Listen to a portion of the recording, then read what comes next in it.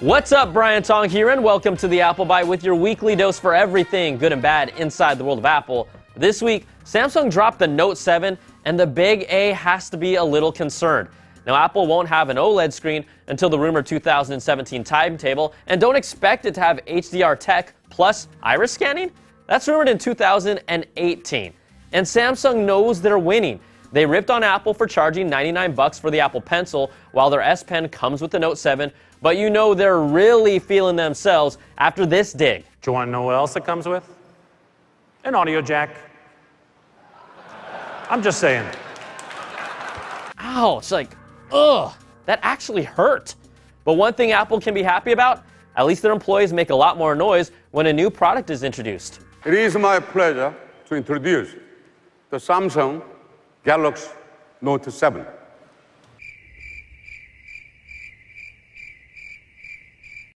Uh huh. Now, Apple will still sell a gazillion units, but if the rumors are true, there's not a single feature the new iPhones will have that can top what the Note 7 has right now. And that's a sad Apple. Aww.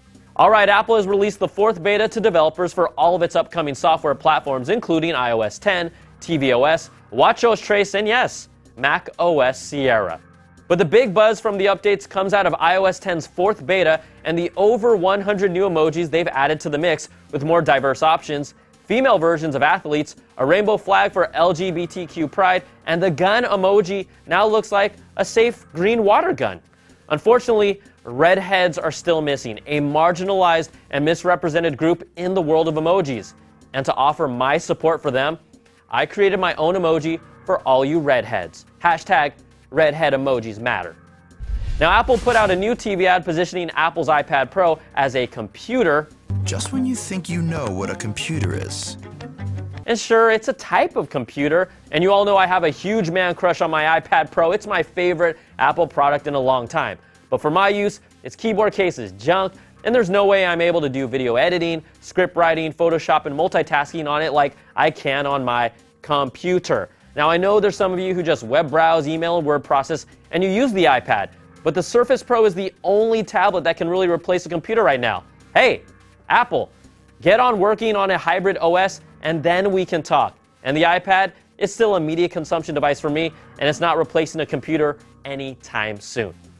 Also, if you've been wondering what's been holding Apple back from getting a TV streaming service, the answer is Apple. The Wall Street Journal details how Apple has come to the table with content providers and TV networks for serious talks on at least five different occasions since 2009. And it's been Apple's arrogance and the belief that, hey, we're Apple, that's prevented them from striking deals. It's just what I've suspected. Their hubris and demands aren't reasonable, and the TV industry is doing fine with or without Apple.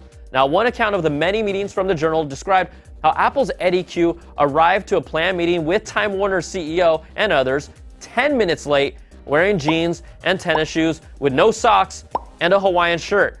No socks, people. That sounds more like Eddie P. U. Now, the other execs were all in suits, and TV execs feel Apple has no idea how the industry works, while Eddie P. U. has said the TV industry is overly complicated, which really translates to they won't do what we want. Now, Sling TV and PlayStation Vue have both figured it out for the past two years, but Apple hasn't, and they're in need of another revenue stream. So good luck to you, Apple. Wear socks next time. And you even made iPod Nano socks a long time ago, so uh, wear those. All right, rumors still point to the next Apple Watch to be announced and released this year. It might even show up at the September event. Digitimes reports the second gen Apple Watch will feature a one glass solution display instead of the current glass on glass technology. Now, the new tech would eliminate one layer of glass from the display and could allow Apple to save a small amount of internal space while also reducing the weight of the watch. So, we'll keep a watch on this. Now, Tim Cook also announced on Twitter that July was a record breaking month for the App Store with the highest ever monthly billings and money paid to developers. It's pretty obvious that's almost exclusively tied to Pokemon Go, or if you're Tim Cook, you pronounce it Pokemon Go, like multiple times during Apple's earnings. Come on, Timmy. It's not even that hard. And you know what? That's a bad apple. Ah! And try not to fall directly on your iPhone, everybody. A Sydney bicycle rider was severely burnt when his iPhone exploded in his back pocket after he fell off his bike and landed where the iPhone was. Now, warning, this might be a little graphic for some of you, so I'll give you a few seconds to close your eyes. All right, one, two, okay, here it is. Gareth Clear suffered third degree burns, which required skin grafts. And Apple's not directly to blame, but anyone who gets burnt on their booty by a battery, that's just a bad apple. Now, batteries have been shown to be prone to exploding due to high impacts, and there's nothing he could have done other than getting a better bike. Like, seriously, was he just a bad bike rider or was it a bad bike? Okay, I'm kidding, but the good thing is that he's okay, and it's just something to be aware of.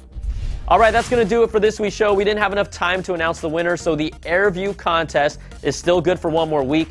You can always email us at theapplebyte at cnet.com or tweet me at Brian Tong. Thanks so much for watching. We'll catch you all next time for another bite of the apple.